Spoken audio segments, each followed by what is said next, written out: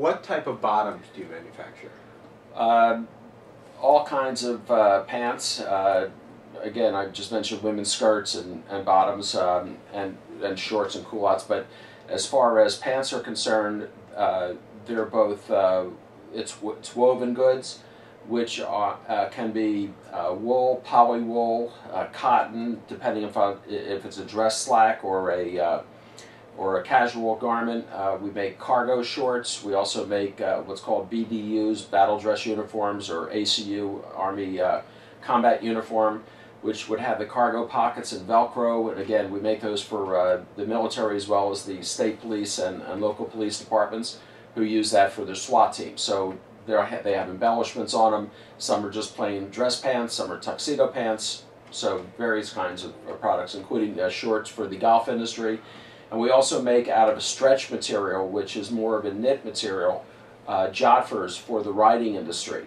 as well, the equestrian trade. Gotcha. And as well as, uh, I guess you would fit into this category, yoga wear, which is also a stretch material, which has the bottom and the material for the top is the same typically in the yoga wear. Gotcha. And jeans as well as jeans, paint. Jean, painter, painter's pants. Painter's pants are a type of jeans, but you know that's just just a difference in material. It's a twill cotton fabric.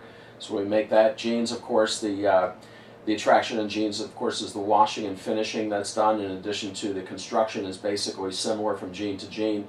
And it's the finish that's put on there, the type of denim that they have, the weight of the denim, the washing, the distressing that's done, and that's done with uh, various chemicals and, and physical means of, of stressing the garment out. And those are the jeans you pay more for the more they're beat up. Well, the more they're beat up, it looks like they've been used, but that's the look that people want, and it really is a technique. People use uh, grinding machines and, and uh, Dremels on there to uh, create that worn look, and uh, there's all different ways to handle jeans. Some people say you shouldn't wash them for a long time. Uh, it used to be with the old Levi 501s, they were shrink to fit, which meant that you uh, put on the jeans and you got in a tub of hot water for a while, and they would shrink to fit you. So it's a very personalized kind of uh, situation, especially in the fashion business. However, when it comes to the uniform business, you don't want people uh, customizing their pants. You want all the police to look the same, all the Coast Guard uh, officers to look the same in the dress uniform or their du duty uniform. So there's a purpose for it. So one needs to define what purpose are you trying to achieve. Is it fashion